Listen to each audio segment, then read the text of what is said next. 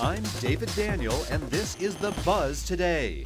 Tom and Morgan's bromance. Tom Cruise can't stop gushing about his Oblivion co star, Morgan Freeman.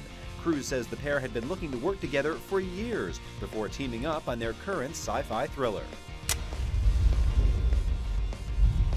I've been watching you, Jack.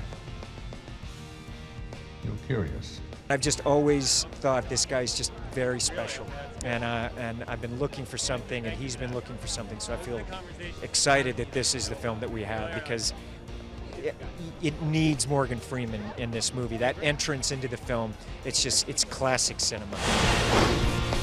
Jason Bateman flipping burgers? With an Arrested Development film in the works, Bateman says his career has been a success because of the TV show's cult following.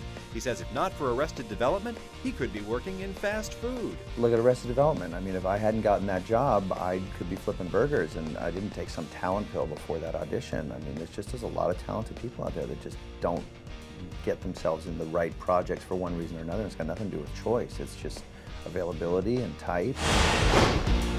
Paula's Secret Search. Paula Patton's current film, Disconnect, is about a couple put in a dangerous situation when their secrets are exposed online. This guy has all your information. Did you visit chat rooms, message boards? Sometimes. She says the last scandalous internet search she did was for bath salts. It was learning about this bath salts drug. I didn't know about this. People eat their people's faces. I, I tried to watch it on YouTube and I had to stop. It's this new crazy drug. I'm like, who wants to do that? People to cannibals? What? That's the buzz today. I'm David Daniel.